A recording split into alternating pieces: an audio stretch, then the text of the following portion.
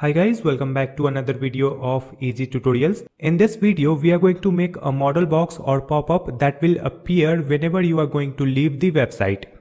You must have seen this type of pop-up on some website that display the offers. These pop-up will be displayed when you will move the mouse outside of the web page to change the tab or to close the tab.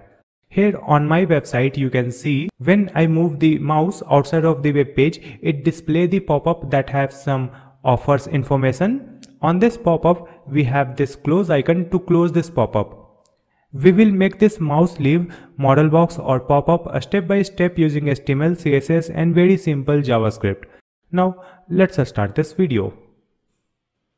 Here in this folder, I have one HTML file, one CSS file and another folder called images and in this one you can see one icon and one image that I will be using on the website. You can find these images download link in the video description. Let me open these files with my code editor. Here I am using Visual Studio Code. You can use any code editor. So this is the HTML file where I have added the basic HTML structure and this one is the CSS file.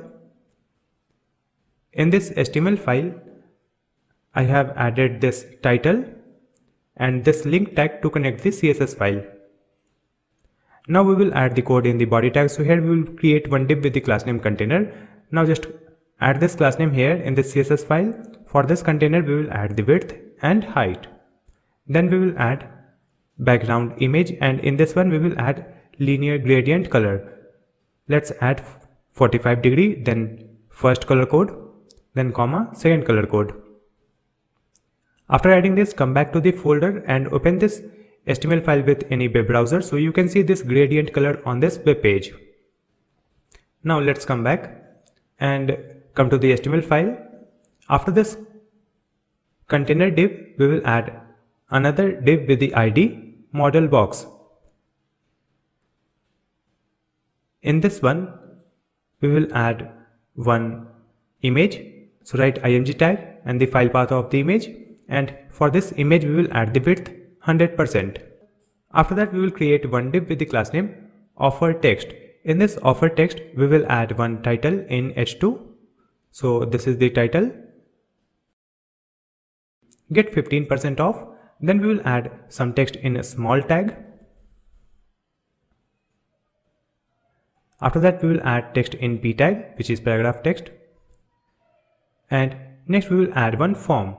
In this form we will add one input field Input type will be email and placeholder email address. Then we will add one button to submit this form. So button type will be submit and the button text is subscribe. After adding this, again come back to the website. You can see it is at the bottom, the image and other text. Now just come back and copy this ID model box, write it here with the hashtag.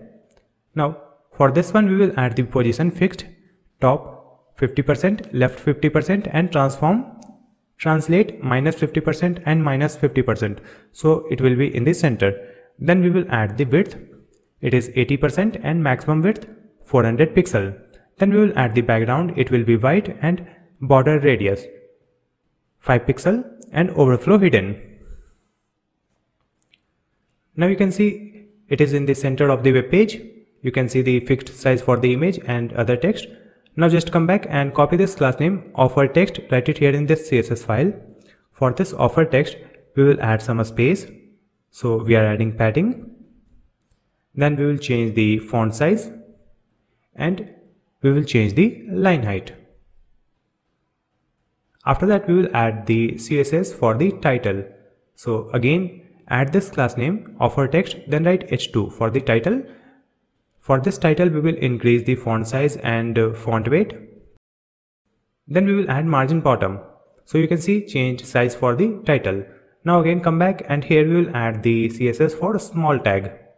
For this small tag, we will add display inline block and we will change the color. Then we will change the font weight. And we need a space at the bottom so we will add margin bottom. So this small text is also looking good. Now we will add CSS for the form. So you can see in this form we have input and button. So let's come to the CSS file. Here we will add offer text then form. For this form we will add a space on the top. So we will add margin top. Then we will add display flex and background. Then we will add border radius. So you can see some changes here. Just come back and again write this one, then write input for the email input field. Here we will add flex 1 and uh, we will add border 0, outline 0. Then we will add background transparent.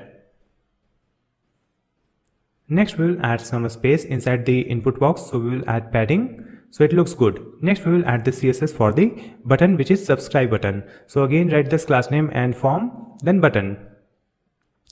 For this button we will add border 0, outline 0 and cursor pointer. Then we will add the background. In this background we will add this color code and here we will add the color white which is the text color. Then we will add space inside the button with padding then border radius. After adding this, this button looks good. Here we will add one close icon. So just come back and after this offer text, here we will add one img, write the file path close.png and here we will add one class name close icon. Next we will add the CSS for this close icon. Write this class name here and here we will add the width. Then write height and border radius 50%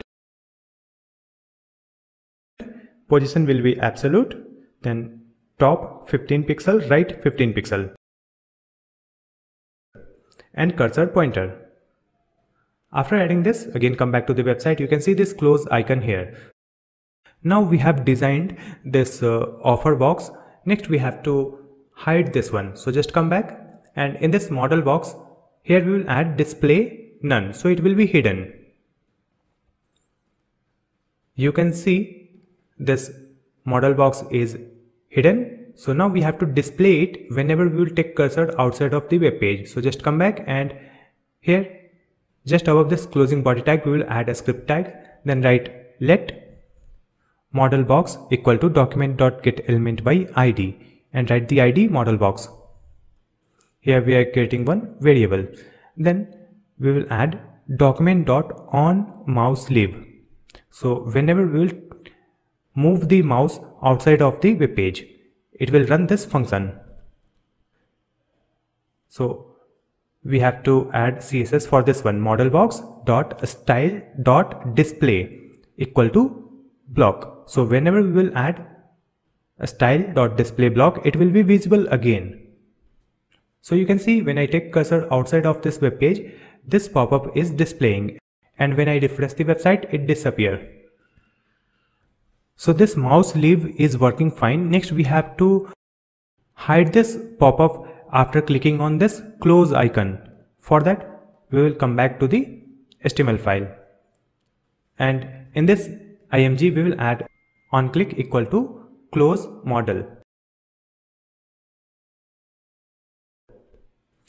Next we have to define this function. So within this script here we will add function close model and just copy this line and add it here. Here we will add none. That's it. So whenever we will click on that close icon, it will run this function and it will set the display none. That's it. After adding this, again come back to the website and uh, if I move cursor out of the web page, it is displaying the pop-up and if I click on this close icon, it will hide the pop-up. Let's move the cursor out of the browser again it is displaying the pop-up and if I click on close icon it is hiding this pop-up. So this mouse leave model box or pop-up is working fine. I hope this video will be helpful for you. If you have any question you can ask me in the comment section. Please like and share this video and also subscribe my channel Easy Tutorials to watch more videos like this one. Thank you so much for watching this video.